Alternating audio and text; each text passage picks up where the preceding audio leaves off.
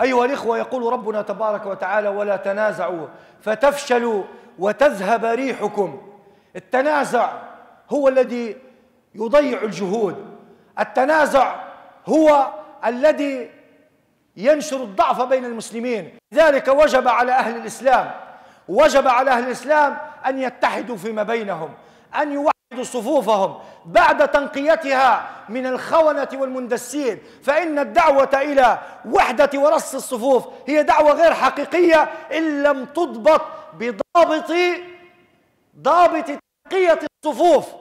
لا يمكن أن تلم الصفوف على بعضها وفيها خائن فيها مندس فيها عميل فيها مجرم فيها فاسد فيها سارق فيها منتهك للأعراض. أي صف سيكون هذا الصف؟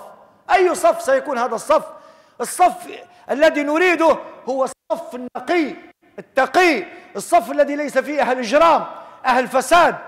سبب المعاناة التي نحن فيها الآن في صف الحق وصف التوراة بسبب اندماج كثير من المجرمين والفاسدين المفسدين في هذا الصف وحسبوا على هذا الصف حتى حلت اللعنات بسبب إجرامهم وظلمهم وسرقتهم واعتدائهم. لذلك الدعوة إلى وحدة الصف تكون مضبوطة بتنقية هذا الصف من كل خائن وعميل.